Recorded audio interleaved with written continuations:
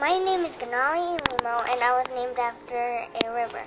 It's in Ethiopia. It's named Ganali, and it's really important to Ethiopia.